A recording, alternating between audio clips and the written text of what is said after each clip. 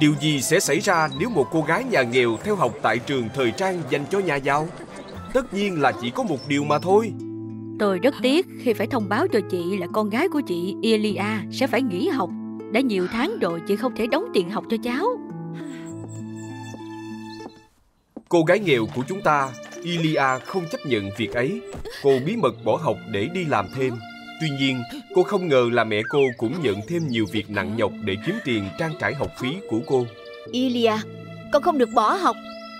Đằng nào học viện chả đuổi học con. Con không hiểu, Ilia. Nếu con không đi học, không ai sẽ công nhận con cả. Con không cần những người đó công nhận. Ilia, con không phải nữ chính của Hoa Fairy Tail. Mẹ mới là người không hiểu. Ilia nhanh chóng không giận mẹ nữa. Tuy nhiên, cô ngại và cũng không biết phải xin lỗi mẹ như thế nào. Mẹ Ilia cũng không hề giận cô. Hai mẹ con nhanh chóng làm lành với nhau. Ilia từng có một tuổi thơ hạnh phúc, sống trong một gia đình giàu có. Tuy nhiên, bố cô mắc bệnh mất sớm. Điều này khiến cô mất đi cuộc sống giàu sang của mình. Tuy trở nên nghèo khổ, Ilia cùng mẹ và hai em gái vẫn sống rất hạnh phúc bên nhau. Ilia rất giỏi theo thùa, cô muốn trở thành một nhà thiết kế thời trang, tạo ra những bộ trang phục có thể đem tiếng cười đến cho mọi người. Cuộc đời thì luôn phủ phàng khi gia nhập vào học viện thời trang. Ilia, một thiếu nữ nghèo khổ bị mọi người khinh thường. Ê, váy rất bẩn thỉu. Cầm lấy tiền mà mua cái gì khác mặc đi bận mắt ta quá. Ôi cảm ơn bạn Sandra, con lợn đút tiền của tôi. Bye bye. Đợi đã. Biết cái gì đây không? Đó chính là tấm vé để tham gia cuộc thi thiết kế thời trang lớn nhất năm học. Chỉ những học viên xứng đáng mới có cơ hội được tham gia cuộc thi này. Trong khi cô gái nhà giàu Sandra nhanh chóng đủ điều kiện dự thi thì chẳng có phép màu nào đến với Ilia. Dù cô đã rất háo hức chờ đợi, Ilia thất vọng, nhưng cô đã quen với việc dù có nỗ lực bao nhiêu thì cuộc đời chẳng đem đến cho cô điều gì tốt đẹp. Mẹ nghĩ con xứng đáng có cái này. Con đừng lo, mẹ nhặt được tấm vé này khi đi làm. Đây là cơ hội để con có thể chứng tỏ bản thân. Vậy là Ilia cũng được tham gia cuộc thi thời trang giống như Sandra. Sentra tiêu rất nhiều tiền để mua những vật liệu đắt giá nhất, tạo ra một bộ váy thời thượng, đắt tiền nên được giám khảo đánh giá cao.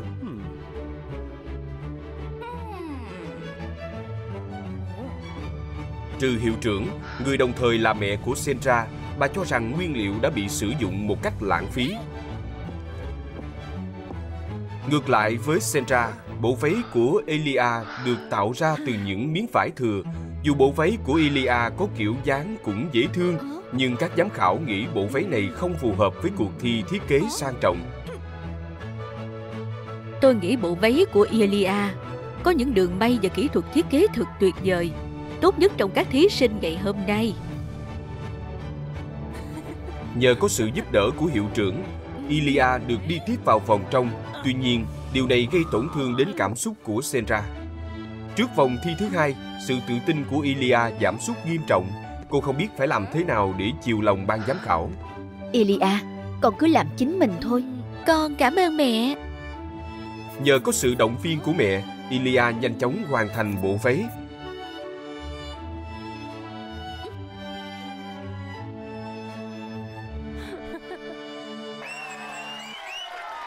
Ở vòng thi thứ hai, Sentra đang hết sức tự tin.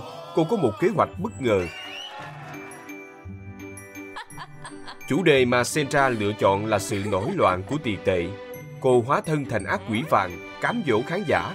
Chưa có ai dám táo bạo thể hiện bản thân như Senra Điều này khiến cho mọi người vô cùng phấn khích, trừ mẹ của Senra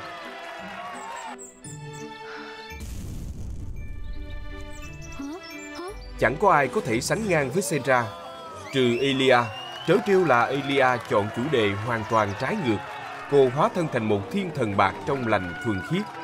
Cuộc thi trở nên vô cùng gây cấn, không ai biết Sentra hay Elia sẽ chiến thắng.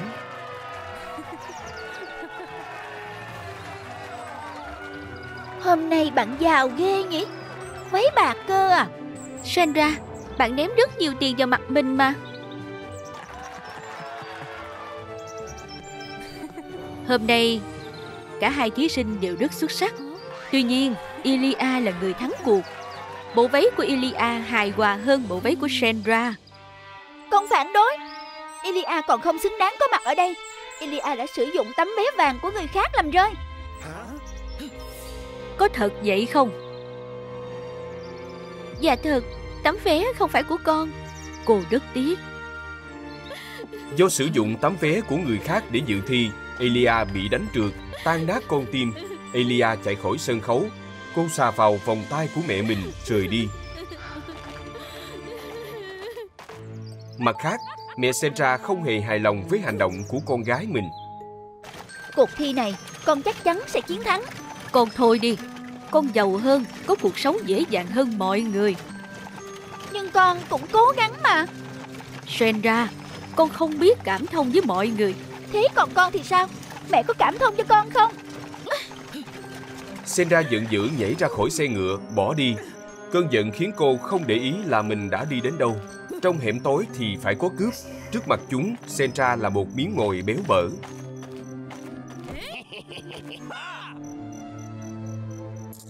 Tiền đây, biến đi. Ê, nó có tiền kìa. Đến giờ bắt cóc tống tiền rồi anh em.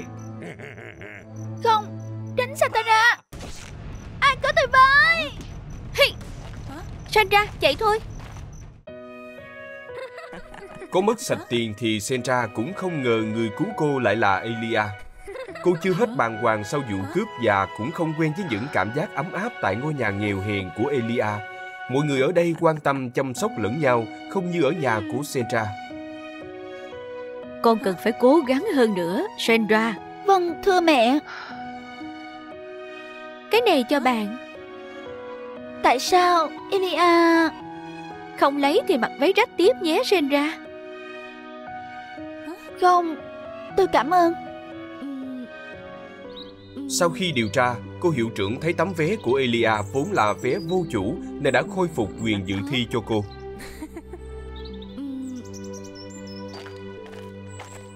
Trong đêm chung kết, các bộ váy sẽ được giấu kín trong những tấm khăn che. Do không có thời gian chuẩn bị, Elia chưa kịp hoàn thành bộ váy cuối cùng. Sandra ngỏ ý hỗ trợ nhưng Elia từ chối. Cảm ơn Sandra, nhưng tôi muốn chiến thắng bằng sự nỗ lực của bản thân mình. Elia, mẹ tìm con mãi. Chiếc váy này là của bố mẹ ngày xưa. Nó không có giá trị gì.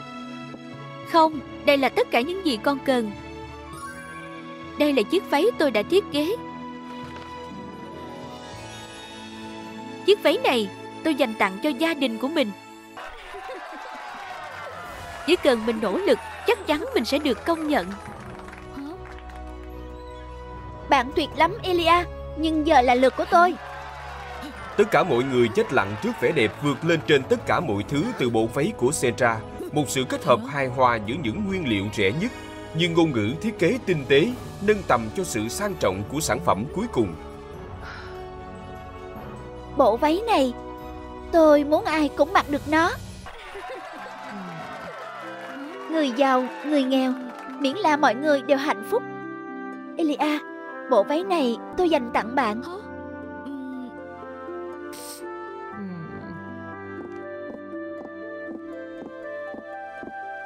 Vậy là cuộc thi đã kết thúc.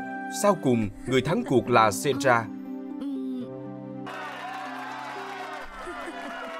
Dù vậy, Elia chấp nhận kết quả này.